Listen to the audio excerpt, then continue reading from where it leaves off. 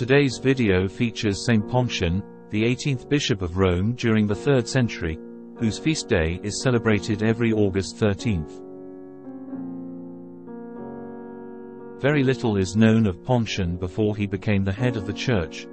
Apparently, as scribed on the Liberian catalogue of the bishops of Rome written in the 4th century, Pontian was a Roman citizen, and that his father's name was Calpurnius. Pope Pontian's papacy began in July 21, in the year 230. At that time, it was said to be relatively peaceful, under the reign of the tolerant Roman Emperor, Marcus Aurelius Severus Alexander.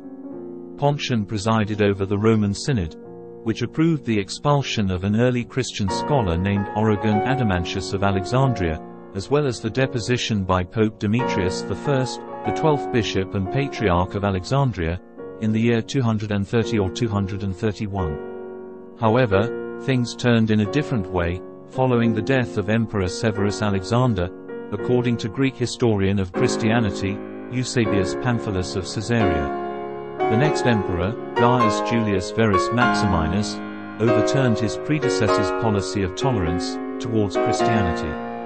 Pope Pontian was arrested, along with a known anti-pope who were later martyred and declared a saint, Hippolytus of Rome, and they were both exiled to labor, in the mines of Sardinia, generally regarded as a death sentence. In order to allow an orderly transition, in the Church of Rome, Pope Pontian resigned the papacy, on September 28, 235, the first pope to do so.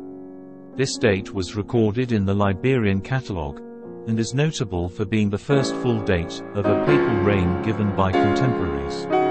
This action ended a schism, that had existed in the church for 18 years. Pontian and Hippolytus were said to have been beaten to death with sticks. Pontian died in October of 235. It was said that before their death, Pontian helped Hippolytus reconcile with the church. San Ponziano, a titular church in Rome, is named in his honor.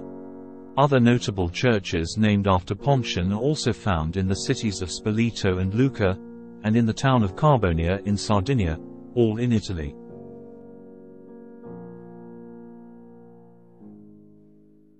For more information about every saints and their feast day, please like and subscribe to our channel, House of Prayers for Everyone.